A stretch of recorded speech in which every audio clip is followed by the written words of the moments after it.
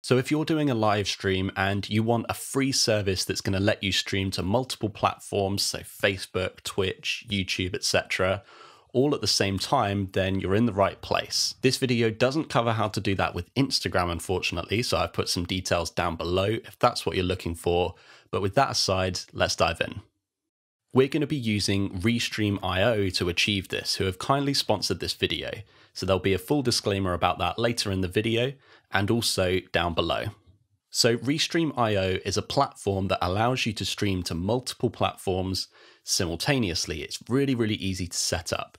And depending on the plan that you go for, from free up through their paid plans, which we'll look into later, you can do things like add your own graphics, calls to actions, branding, see all of your chat messages coming in from all the platforms and display them. It's a really, really cool service. So we're going to have a look at the free plan mainly in this video and then have a look at what the paid plans could offer you. So let's dive in and have a look at that. So here we are. I've created a free Restream.io account at restream.io. And this is what you see once you've done that. I'm going to add my Facebook page and my YouTube channels. So let's go onto Facebook, connect Facebook.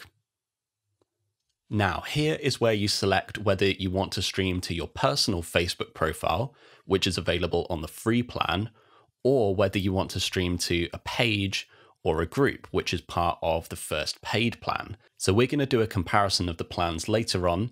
For now, I'm going to go for the personal profile so that we can stick using the free plan. Now I'm going to add another channel and connect my YouTube channel. Great, so now I've connected the platforms that I want to use. Now what we need to do is set up what the stream is going to look like. So you've got two options here. You can either go for Live Studio, which is the really easy, simple one to go for. You can use your own webcam, microphone, etc., uh, or you can just use what's built into your computer. That's the one that I'll be showing you. Um, but if you are a more advanced live streamer and you want to use something like OBS, Zoom, or XSplit, then you can go for this one. But we're going to go for Enter Live Studio because that's the easiest and quickest to set up and still gives you a really professional stream.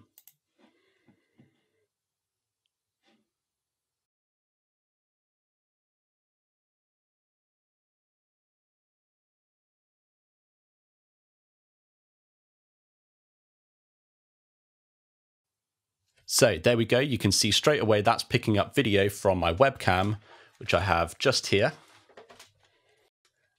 And that already looks really good. I've got some basic lighting up here, which is making this look really quite professional.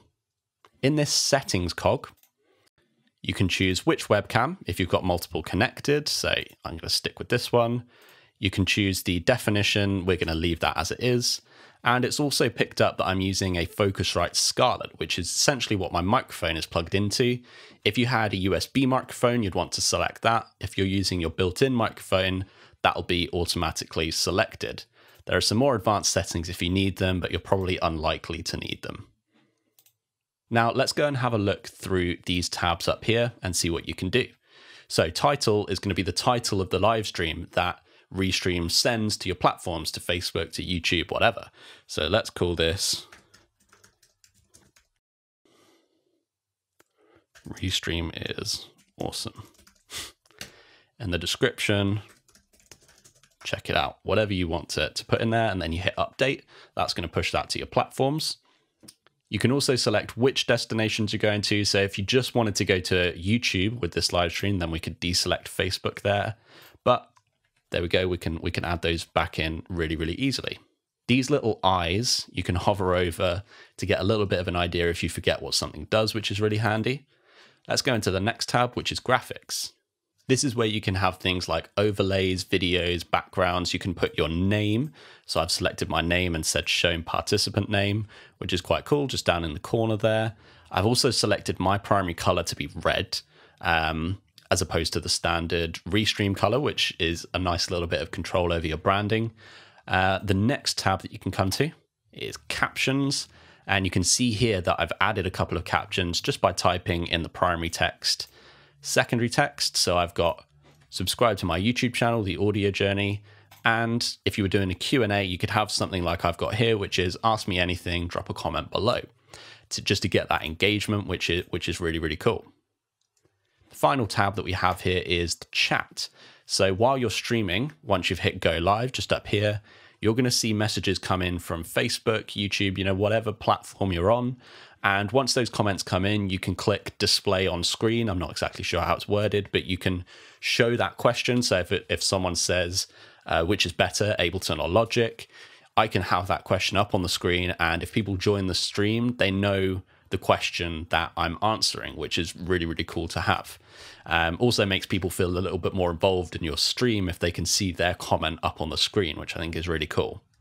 Another thing that you can add in down here is share your screen. So I could share either my entire screen, just an application window, etc., or a Chrome tab, which is really cool. I'm not going to do that right now. And you can add in participants. And essentially, that's just going to send them a link.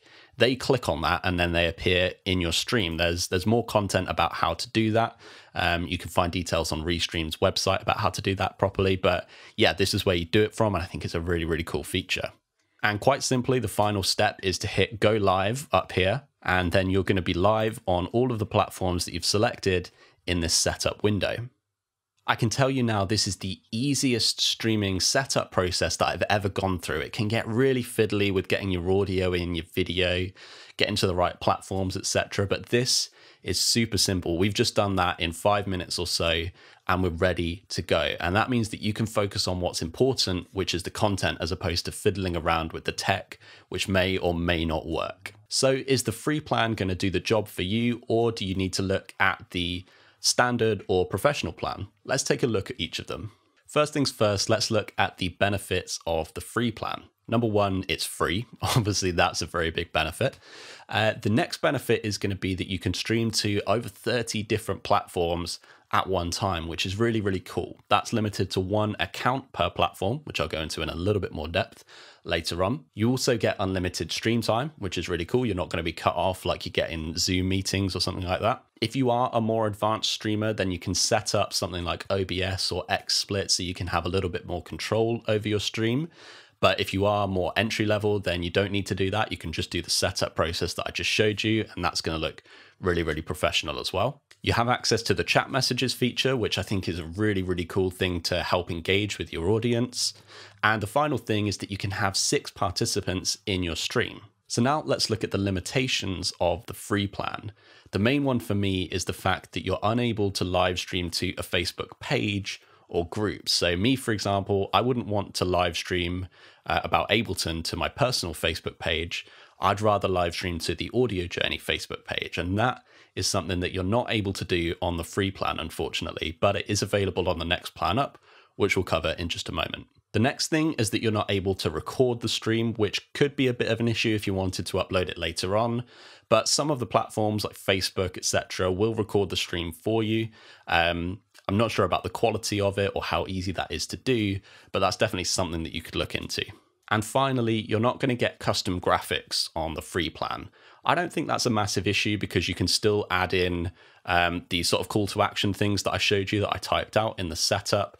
Uh, you can do what you need to do. I don't think, unless you've got really advanced graphic needs and it needs to be spot on, I don't think that's going to be a massive issue. You're also going to have a restream um, icon in the top corner, the watermark, which again, not really a massive issue for me. I don't think that's really going to turn people off too much unless your branding used to be absolutely spot on. So let's move on to the standard plan, which at the time of filming starts at $19 a month, and you get a discount if you pay for the full annual subscription upfront.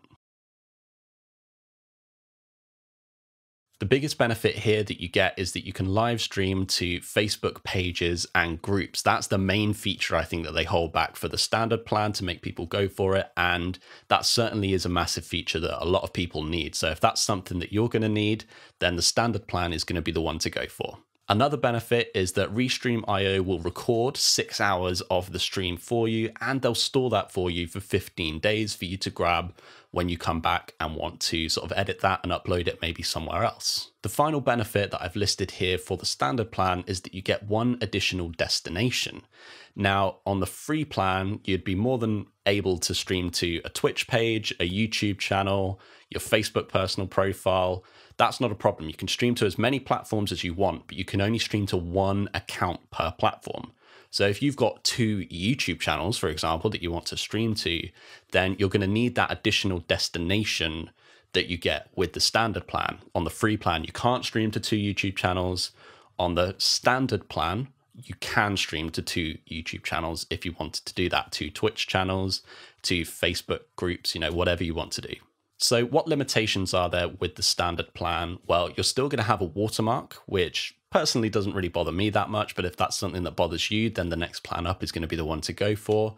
And also, you don't get much control over customizing your graphics still at this point. Uh, again, if that's something that you're really needing, then the next plan up is going to be the one for you to go for. That brings us on to the professional plan, which starts at $49 a month at the time of filming.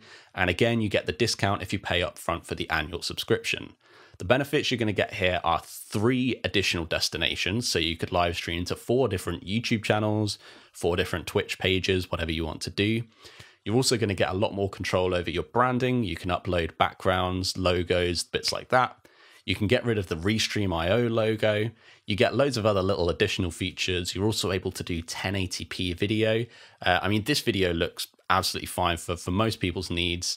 Um, 1080p wouldn't really put me off uh, going for one of the lower plans, but if that's something that you want to be absolutely extra crispy, then yeah, the professional plan may be the one for you. So there we go. I hope that's been helpful for you.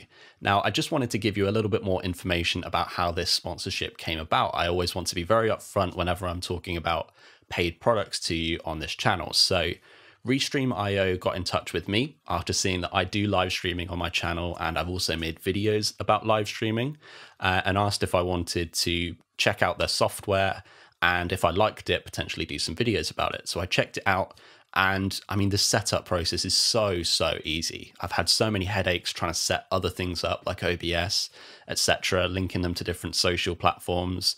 Uh, and this was just such a breath of fresh air to, to set up. That's what made me say, yeah, I'm, I'm more than happy to do some videos about this.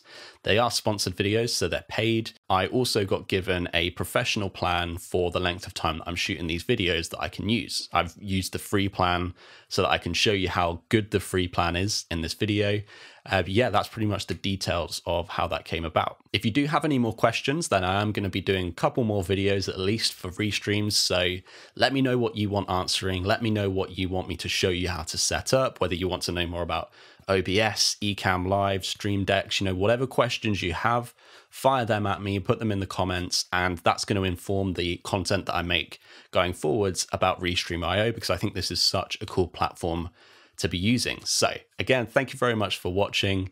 Really hope you've enjoyed it and I hope to see you again soon. Take care.